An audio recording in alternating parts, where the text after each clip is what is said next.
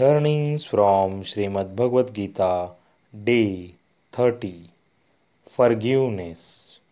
In the battlefield, Arjuna wanted to forget whatever Kauravas did with them.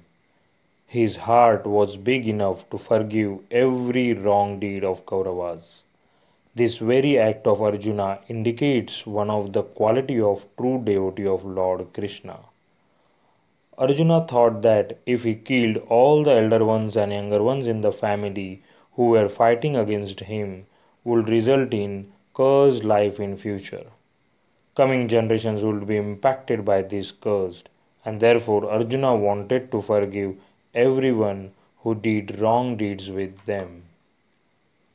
What Lord Krishna said to Arjuna further in Bhagavad Gita while answering to Arjuna's questions it is interpreted that forgiveness should not be at the cost of dharma. What Arjuna thought that whatever thoughts coming in his mind was as per dharma, but that was not true.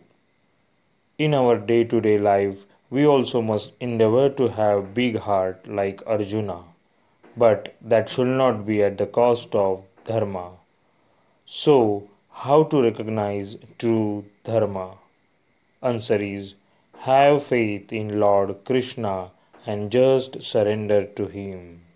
Hare Krishna, Hare Krishna, Krishna Krishna, Hare Hare, Hare Ramo, Hare Ramo, Rama Ramo, Hare Hare.